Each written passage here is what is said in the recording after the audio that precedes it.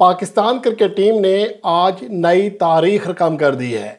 एडलीड में जहाँ पाकिस्तान टीम इस सदी में एक बार भी कामयाबी हासिल नहीं कर सकी थी, उस वेन्यू पर पाकिस्तान ने आज यकतरफा मुकाबले के बाद ऑस्ट्रेलवी टीम को शिकस्त दी है, जो कि इस सीरीज़ में आखिरी बार अपनी मुकम्मल ताकत के साथ मैदान में उतरी थी। और आज पाकिस्तान ने जिस अंदाज में कामयाबी हासिल की है उसकी तारीफ़ करने के लिए अल्फाज नहीं मिल रहे हैं। इसमें मोहम्मद रिजवान की शानदार कैप्टनसी का सबसे बड़ा किरदार है। कोई इस बात को माने या ना माने, लेकिन मोहम्मद रिजवान के बारे में मैंने पहले कहा था कि मुल्तान सुल्तान्स की टीम में और प्लेयर्स में जान डालने वाला मोहम्मद रिजवान है। उस्मान खान इससे पहले भी पीएसएल खेलता था, इससे पहले भी पाकिस्तान की डोमेस्टिक क्रिकेट खेलता था, लेकिन जो निखार मोहम्मद रिजवान की कैप्टनसी ने उस्मान खान को दिया, वो किसी और ने नहीं दिया। इस तरह टेम डेविड मोहम्मद रिजवान की कैप्टनसी में उभरा। अब्बास अफरीदी शाहनवाज धानी और एक लंबी फहरस्त है। एहसान उल्ला और बहुत सारे ऐसे प्लेयर्स हैं जो मोहम्मद रिजवान ने जिन्हें यूटिलाइज़ किया, उनकी सलाहियत के मुताबिक उनसे काम लिया और बेहतरीन अंदाज में वो परफॉर्म करने लगे। और यहाँ तक कि अब्दुल्ला शफीक और सैम अयूब, जिनके बारे में हम अक गए थे यार इनको और कितना चांस दिया जाएगा। आज उन दोनों ने नई तारीख रकम की है।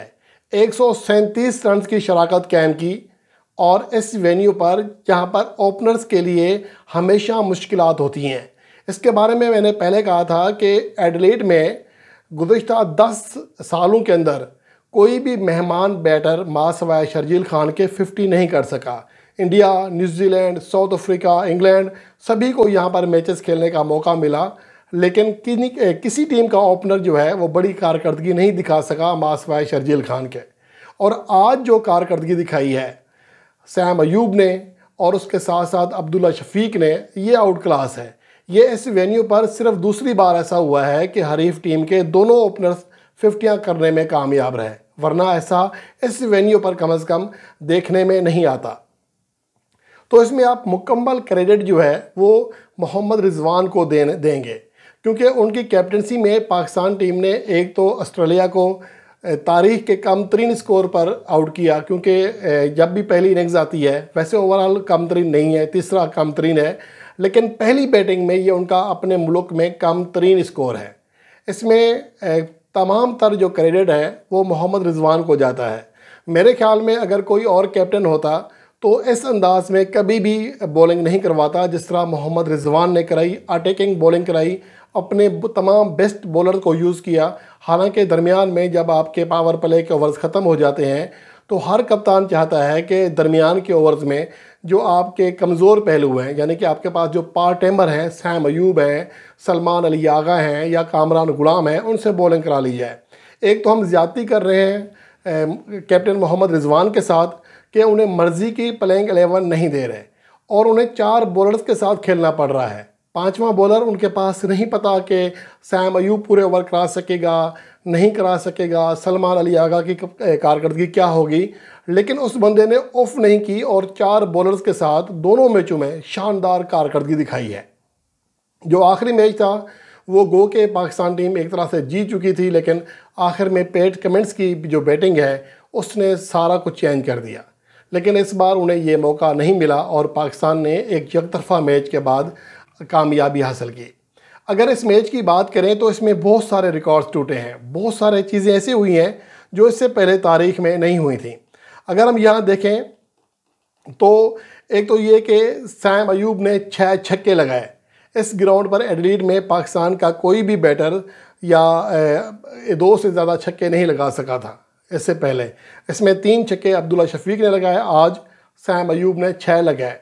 और ये किसी भी पाकिस्तानी बैटर के, ऑस्ट्रेलिया के किसी भी ग्राउंड पर मेज़बान टीम के ख़िलाफ़ लगाए जाने वाले सबसे ज़्यादा छक्के हैं।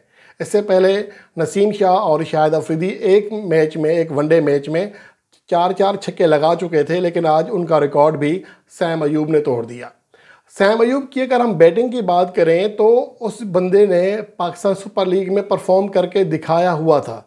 लेकिन जिस तरह वो फ्लॉप हुआ टी ट्वेंटी इंटरनेशनल मैचेस में टेस्ट फार्मेट में, चले टेस्ट फार्मेट में तीन फिफ्टियाँ की, लेकिन उनकी कारकर्दगी अच्छी नहीं थी।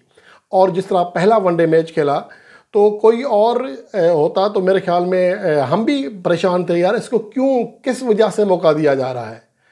किसके कहने पर मौका दिया जा रहा है? बाकी प्लेयर के साथ ज़्यादा हो रही है। लेकिन आज उसी सैम अयूब ने छः छक्के लगाए तीन ओवर्स में चौदह रन दिए अच्छी बॉलिंग कराई। हालाँकि एक छक्का पड़ गया था, लेकिन इसके बावजूद अच्छी बॉलिंग का जो है, जहाँ मौका मिला, उसके मुताबिक वो अच्छी बॉलिंग कराने में कामयाब रहे। और इसके साथ साथ अब्दुल्ला शफीक का भी बैट आज चल पड़ा है, और ये पाकिस्तान के लिए बहुत बड़ा पॉजिटिव साइन है। क्योंकि अगर इस तरह हमारे ओपनर्स परफॉर्म करेंगे तो हमारे लिए फिर हमारे दिल बड़े हो जाएँगे कि हम ऑस्ट्रेलिया में भी जीत सकते हैं। आपको शायद याद होगा या बताता चलूँ, ये 2002 के बाद पाकिस्तान की ऑस्ट्रेलवी सरजमीन पर महज तीसरी फतह है। 2005 में इंजमामुल हक की क्यादत में 2017 में बाबर आज़म की क्यादत में और अब 2024 में मोहम्मद रिजवान की क्यादत में पाकिस्तान टीम ने ये कारनामा सर अंजाम दिया है। तो आप ऐसे अंदाज़ा लगा सकते हैं कि ऑस्ट्रेलवी सरजमीन पर कामयाबी हासिल करना पाकिस्तान के लिए कितना बड़ा मुश्किल टास्क रहा है गुज्त बाईस सालों में। इससे पहले 2022 तक जब पाकिस्तान ने 2022 में वहाँ पर सीरीज़ जीती थी, तारीख रकम की थी, दो एक से जीती थी, तब तक पाकिस्तान का जो तनासब था, सैंतीस फ़ीसद था ऑस्ट्रेलवी सरजमीन पर मेज़बान टीम के ख़िलाफ़। लेकिन उसके बाद 12 फ़ीसद तक तनासब आ चुका था।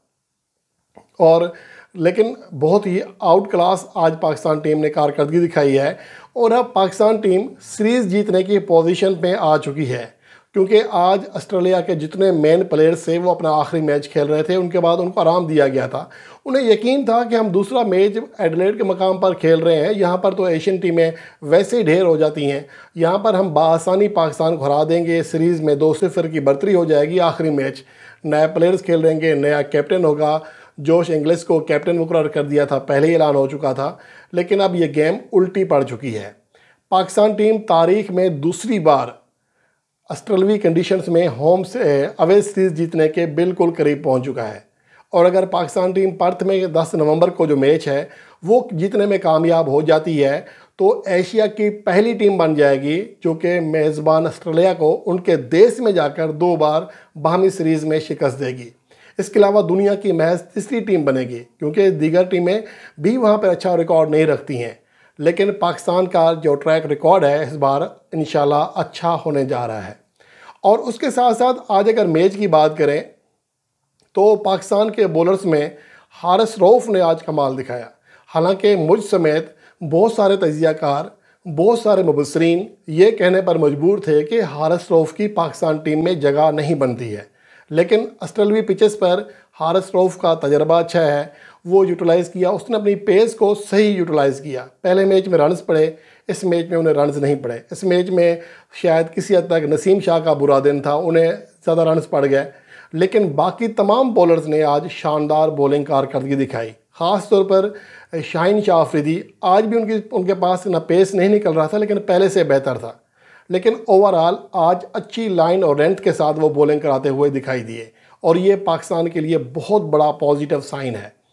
पाकिस्तान टीम के अगर इस तरह के तमाम बॉलर्स फॉर्म में आ जाते हैं और उसके साथ साथ बैटर्स परफॉर्म करना शुरू कर देते हैं तो ये पाकिस्तान के लिए बहुत बड़ी चीज़ है।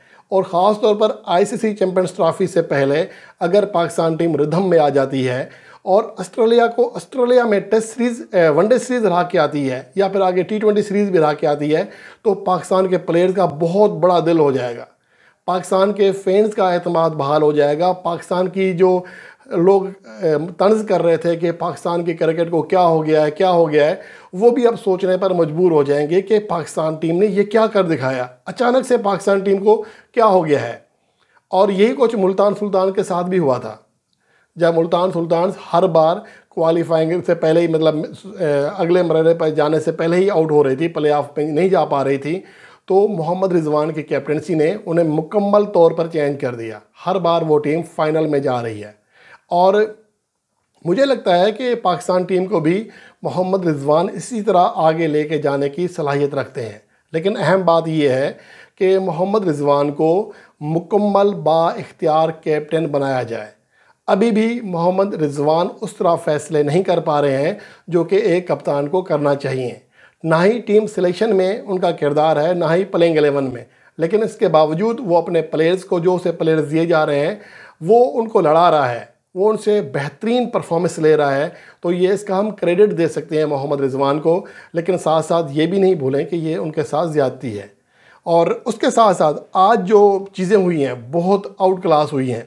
एक तो ये कि एडलीड में पाकिस्तान ने 22 साल के बाद कामयाबी हासिल की, इस सदी की पहली कामयाबी। इससे पहले इस ग्राउंड पर पाकिस्तान ने जो आठ मैचेस खेले थे, सात में शिकस्त हुई थी और वहद कामयाबी 96 में वसीम अकरम की क्यादत में पाकिस्तान टीम ने हासिल की थी।